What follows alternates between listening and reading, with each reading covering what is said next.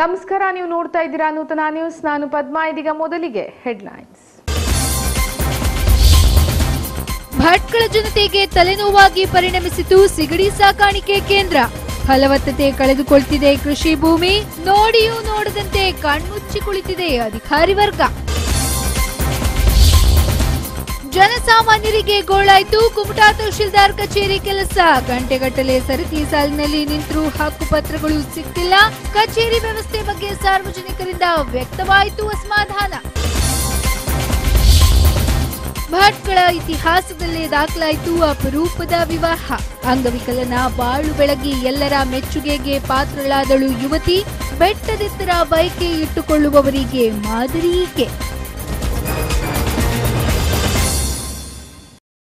ಈಗ ವಾರ್ತೆಗಳ ವಿವರ. ಮಾನವೀಯತೆ ಎಂದರೆ ಅರ್ಥವೇನು ಎಂದು ಹುಡುಕುವ ಕಾಲದಲ್ಲಿ ಇಲ್ಲೊಂದು ಅಪರೂಪದಲ್ಲೇ ಅಪರೂಪ ಎನ್ನುವಂತಹ ಮದುವೆ ನಡೆದಿದೆ. ಅಂಗವೈಕಲ್ಯವನ್ನ ಹೊಂದಿರುವ ವ್ಯಕ್ತಿಯನ್ನ ಸುಂದರ ಹುಡುಗಿಯೊಬ್ಬಳು ವಿವಾಹವಾಗಿರೋದು ಎಲ್ಲರೂ ಹುಬ್ಬೇರಿಸುವಂತೆ ಮಾಡಿದೆ.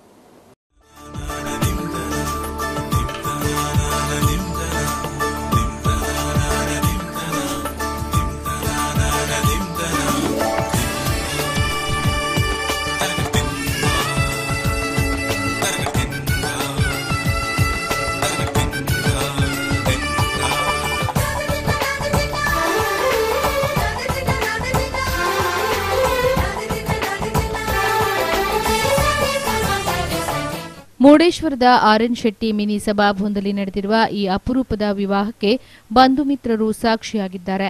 ಯುವಕನು ಅಂಗವೈಕಲ್ಯ ಹೊಂದಿದ್ರೂ ಕೂಡ ಕ್ರಿಯಾಶೀಲನಾಗಿ ಸ್ವಾಭಿಮಾನದಲ್ಲಿ ಬದುಕು ಸಾಗಿಸುತ್ತಿದ್ದು, ಈತ ಬಡಿಗೆ ಕೆಲಸವನ್ನ ಮಾಡಿ ಜೀವನ ನಡೆಸುತ್ತಿದ್ದಾನೆ.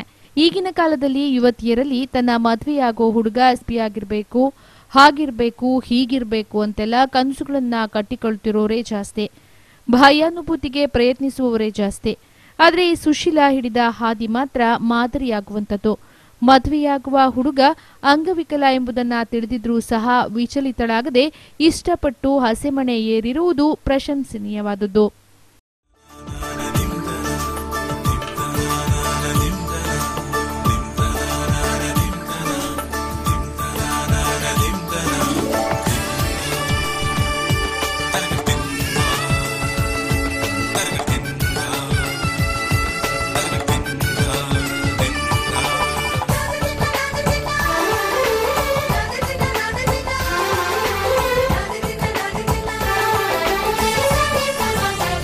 ಒಬ್ಬ ಅಂಗವಿಕಲನನ್ನ ತನ್ನ ಜೀವನಕ್ಕೆ ಸ್ವಾಗತಿಸಿ ಇಂದಿನ ಸಮಾಜಕ್ಕೆ ಯುವತಿ ಮಾದರಿಯಾಗಿದ್ದಾಳೆ.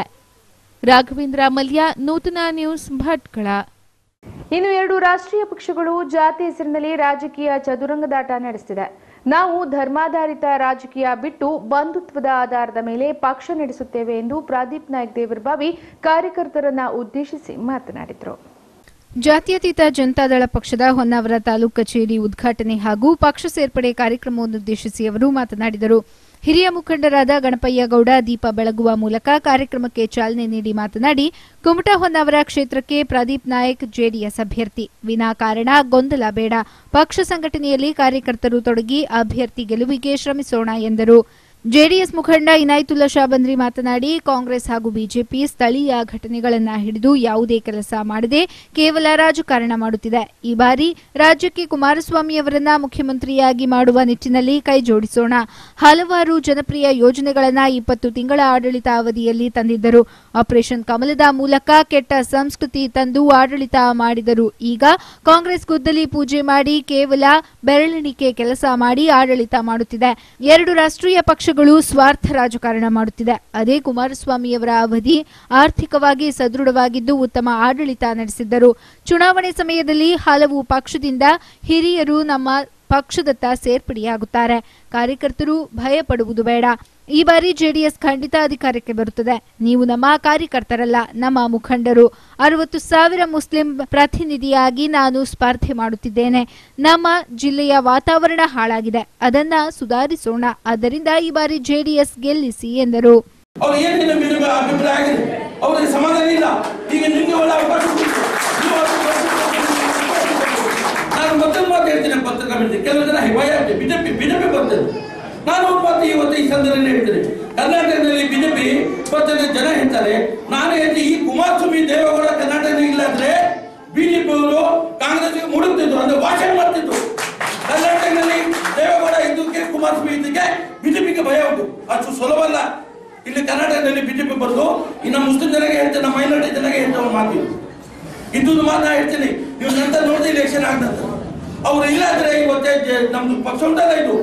ಪ್ರದೀಪ್ ನಾಯ್ಕ್ ದೇವರಬಾವಿ ಮಾತನಾಡಿ, ಈ ಭಾಗದ ಅನೇಕ ಸಮಸ್ಯೆಗಳನ್ನ ಅರಿತಿದ್ದು, ಸಮಸ್ಯೆಯನ್ನ ಪ್ರಾಮಾಣಿಕವಾಗಿ ಬಗೆಹರಿಸಲು ನನಗೆ ಈ ಬಾರಿ ಅವಕಾಶ ಮಾಡಿಕೊಡಿ. ಕ್ಷೇತ್ರದ ಒಂದು ಪಾಯಿಂಟ್ ಎಂಟು ಸೊನ್ನೆ ಲಕ್ಷ ಮತದಾರರ ಮನಮುಟ್ಟುವ ಕೆಲಸವನ್ನ ನಾವು ನಮ್ಮ ಪಕ್ಷದ ವತಿಯಿಂದ ಮಾಡಬೇಕಿದೆ. ಕೆಲಸ ಮಾಡಲು ಇದುವರೆಗೆ ಆಯ್ಕೆಯಾದ ಯಾವುದೇ ಶಾಸಕರಿಂದ ಸಾಧ್ಯವಾಗಿಲ್ಲ. ಇನ್ನೂ ಅವಕಾಶ ಕೇಳುತ್ತಿದ್ದಾರೆ. ಕುಮಾರಸ್ವಾಮಿ ನೇತೃತ್ವದ ಸರ್ಕಾರ ಬರಲು ನಾವೆಲ್ಲ ಕಾರ್ಯಕರ್ತರು, ಜಿಲ್ಲೆಯ ಆರು ಕ್ಷೇತ್ರದ ಗೆಲುವಿಗೆ ಪ್ರಯತ್ನ ನಡೆಸಬೇಕು ಎಂದರು.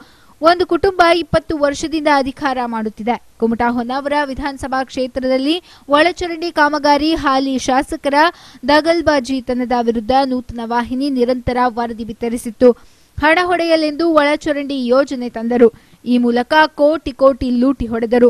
ಇಂದು ಈ ವಿಧಾನಸಭಾ ಕ್ಷೇತ್ರದಲ್ಲಿ ಯಾವುದೇ ಕಾಮಗಾರಿಯ ಗುತ್ತಿಗೆಯಾದರೂ ಅದು ಕೆವಿ ಶೆಟ್ಟಿ ಕಂಪನಿಗೆ ಮಾತ್ರ ಬರುತ್ತದೆ ಎಂದು ಗಂಭೀರ ಆರೋಪ ಮಾಡಿದರು.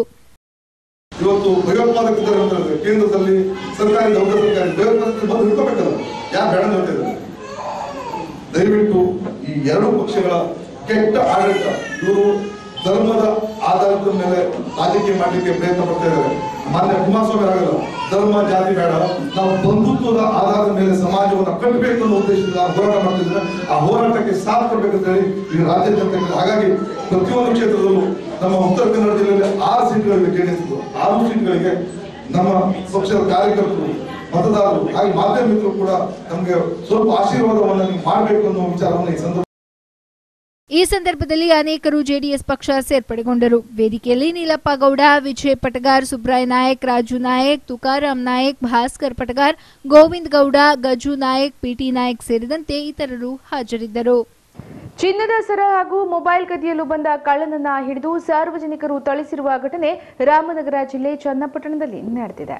ಚನ್ನಪಟ್ಟಣದ ಸರ್ಕಾರಿ ಬಸ್ ನಿಲ್ದಾಣದಲ್ಲಿ ಸಿಕ್ಕಿಬಿದ್ದ ಕಳ್ಳ ಉಮರ್ ಮೂಲತಃ ಬೆಂಗಳೂರಿನ ಸುಂಕದಕಟ್ಟೆ ನಿವಾಸಿ ಎಂದು ತಿಳಿದು ಬಂದಿದೆ ಈತ ರಾಮನಗರದಿಂದ ಚನ್ನಪಟ್ಟಣದ ಕಡೆಗೆ ಸರ್ಕಾರಿ ಬಸ್ನಲ್ಲಿ ಬರುವ ವೇಳೆ ಬಸ್ನಲ್ಲಿದ್ದ ಸುರೇಶ್ ಎಂಬುವವರ ಮೊಬೈಲ್ ಕದ್ದಿದ್ದಾನೆ.